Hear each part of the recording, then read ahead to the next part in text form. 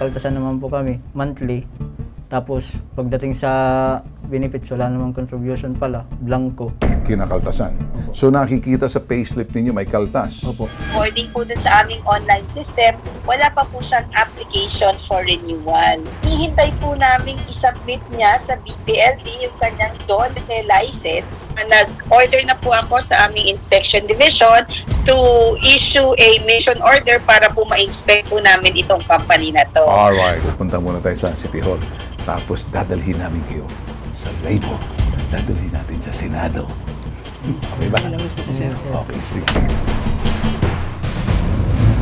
Labing isang housekeeping employees ang pumila sa tanggapan ng hashtag ipabitag mo.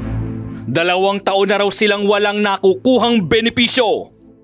Lumapit po kami sa hashtag ipabitag mo para reklamo po ang aming agency sa hindi paghuhulog ng contribution sa aming mga benefits. Ang pangalan po ng aming agency ay One Source Services Corporation po.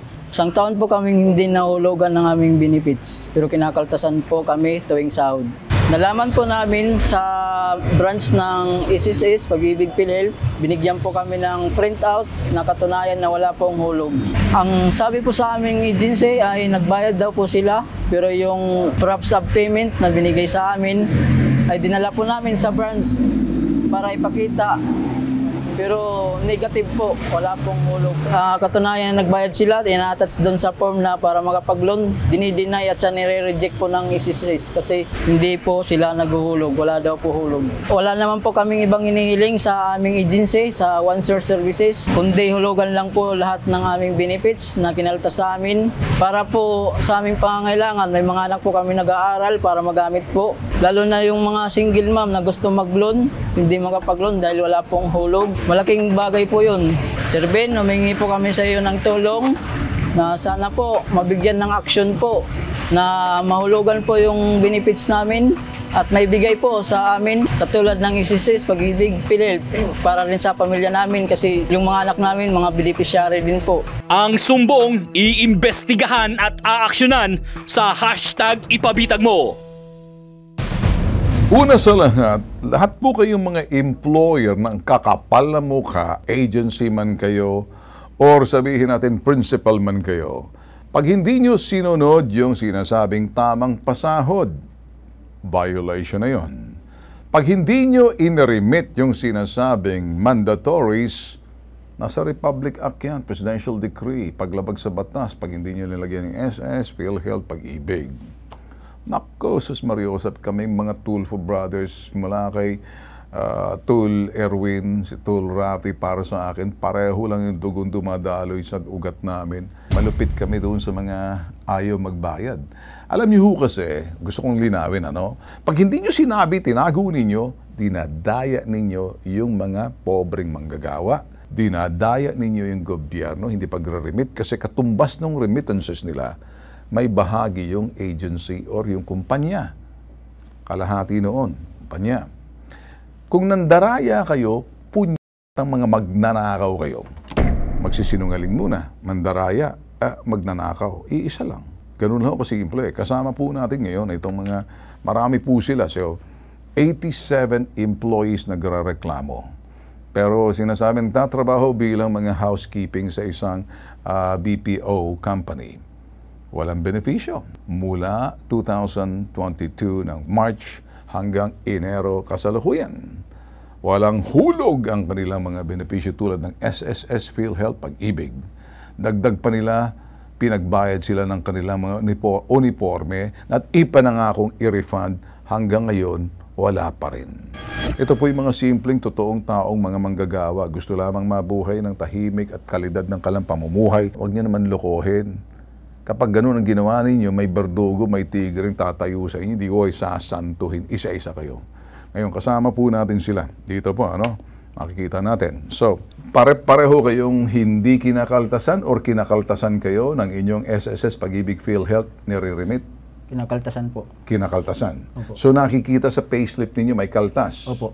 Kasi pag may kaltas yun, may katumbas din na contribution yung, yung inyong agency. Sila ay nagbabayad base doon sa napagkasunduang serbisyo ninyo lahat na ang benepisyo ay ibibigay tungpak doon sa sinasabing kautusan ng pamahalaan.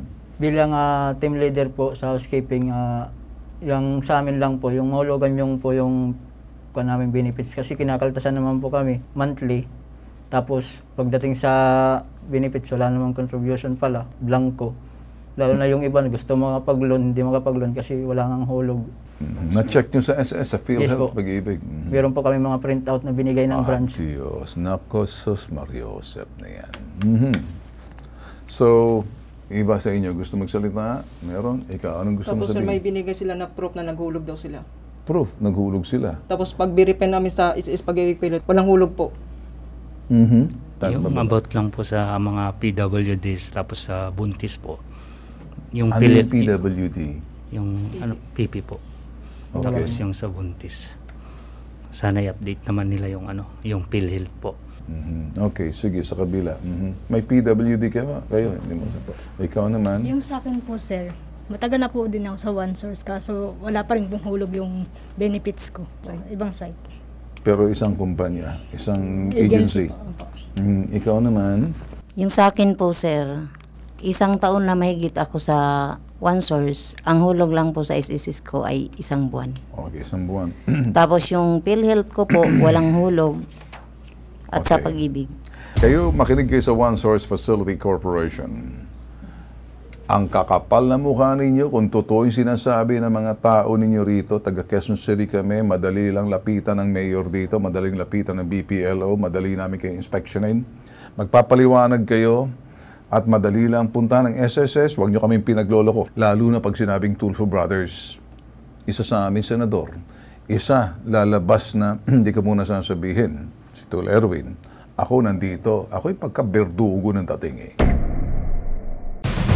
Ma'am, magandang Sir umaga. Magandang umaga, ma'am. Magandang umaga din po sa inyo, Sir Ben. Maraming salamat, ma'am, pag pagtanggap niyo po ng tawag po namin. Wala po problema. Anything I can do to help, Sir Ben? Eh, meron lang po kasi ang dami po nilang mga empleyado. Sa Quezon City po to 87 employee po ng isang company. Ang company po ay si, ito po yung One Source uh, Facility Services Corporation. Eh, para sa akin po, eh, ko muna sa inyo, eh, kung okay po ba itong uh, business permit po nitong kumpanya na to. Kasi kung medyo pong may problema po sa ganitong klaseng employee, siguro po makukompromiso yung kanilang business permit or license. I'm sure magagalit din po si Mayor Joy. Chinek ko po yung record ng One Source Facilitation Services. So, nag-ooperate po siya as a contractor, uh, local employment. Uh, so far po, valid pa po ang kanyang business permit up to March 1, Mhm. 2023 because our permit is now valid for one year from date of issue. All So, na-issuean po natin siya ng permit last year, March 1, 2022. So, mag expire po yung permit niya ngayong February 28. And according po dun sa aming online system, wala pa po siyang application for renewal. So far naman po, ang ah, hinihintay po namin isubmit niya sa BPLD yung kanyang DOLE license And kung meron po siyang problema sa pagre-remit ng mga mandatory benefits ng kanilang mga empleyado, mas mabuti po na is, ito pong mga empleyado ay mag-file po ng petition, kunyari po sa SSS, sa PhilHealth o kaya po sa pag-ibig. And Mm. para po ma-notify po kami nitong ano ng mga agencies na to na may, ma- mailagay namin sa negative list or sa blacklist ng mga businesses itong one source facilitation Alright. service. Ma'am, ganito po ma'am, ano? I confirm na po dahil sa kanilang mga payslip po, chinek po nila the last time they checked it late, lately po, ano? Sa PhilHealth, sa SSS, at sa pag-ibig, hindi po nire-remit. Alam po siguro natin ma'am na talagang bawal po yan. Siguro ma'am, baka ngayon ay pwede niyo pong tawagan, sabihin, mag, magre-renew kayo ng business permit. Eh ayan, nagagalit si Ben Tulfo sa hashtag ipabitag mo na 87 katao, pagdadalhin ko po sa inyo po muna siguro para makita ninyo kasi... Kasi mas maganda dito, pagkatapos siguro ma'am, habang kausap po natin, siguro ma'am, tawagan niyo po siguro yung company na to. Ayaw sumagot kasi may tinatago. O siguro ma'am, baka may inspection, baka maraming paglabag na na mga kung ano, fire exit o ano pa mga bagay dyan na makita. Siguro ma'am, pabisita niyo na lang siguro sa inyong business permit and licensing office Opo, wala pong problema, Sir Ben. In fact, um, when your staff called me earlier, uh, nag-order na po ako sa aming inspection division to issue a mission order para po ma-inspect po namin itong company na to. Alright. Ah, mas mabuti rin po na makapagsabit po itong 87 employees Walang na problema, ma'am. po ng complaint dito sa BTLD Sige, para rin po magkaroon din po kami ng basis to coordinate with the other national government offices. Thank you, ma'am. Thank you. Ngayon pa lang, ma'am. Nagpapasalamat. po namin sila. Thank you, ma'am. Thank you. Mabuhay po kayo, ma'am. Ha? Opo, Okay, sige, sige, po. Okay. Sige po. Okay. Thank you. Ang isang business permit ng isang kumpanya kapag ikay derogatory, ibig sabihin hindi maganda, may nadidihado, may naloloko, partikular paglabag sa batas, national law, sa kagawaran ng paggawa, yung mga benepisyo ninyo hindi sinunod. May Republic Act dyan, may Presidential Decree. Paglabag yun sa batas. Ang lokal na pamahalaan mapipilitan na ikansila, sabihan sa kanila, babayaran nyo o hindi. Ngayon pa lang, kayong mga nasa one source, makinig kayo ha, iisa lang ang source ng katotohanan ha, ako. Hindi ako magdadagdag. Pag ako hinamon nyo, magiging, naku, bakulaw ako sa likod ninyo. Info lang, yung One Source Corporation Agency, ang mga crew production ng TV5, Sus Mario Josep, pati ba naman sa TV5, tinablay ninyo? Kaya delay din daw yung sahod ng mga tao roon. Lapit, lapit, lapit. Dapat dito sa amin. Ako na ang bahala sa inyo. Parang divisoria. Eh, makinig kayo ha, hindi ako natutuwa. Nagbubuisit ako. Put kayo mga one source kayo ha.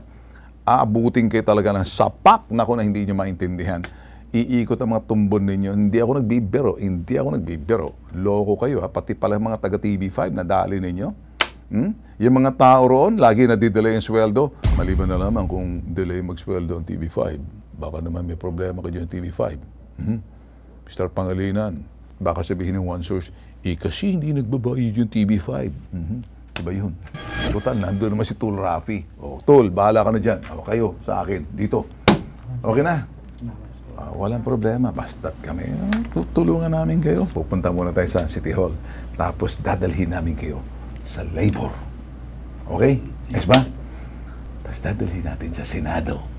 Okay ba? Yan ang gusto ko, sir. Okay, sige.